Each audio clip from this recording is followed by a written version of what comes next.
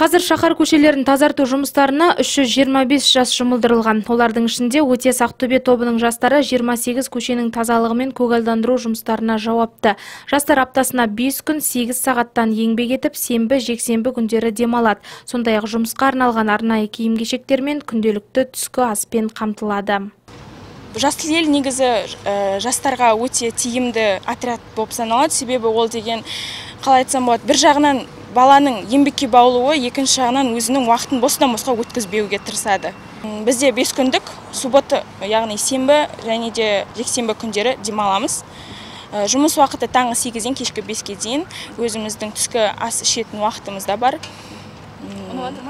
Иә барлығы өте тамаша балдар бір бірімен достасып жаңа орта тауып жатыр.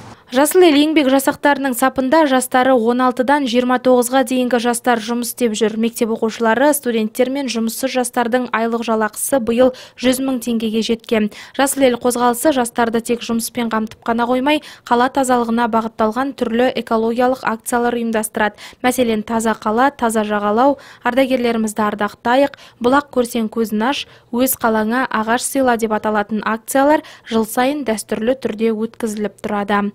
Жанар Чапаева, Жаслан Жұбай, Тәулік.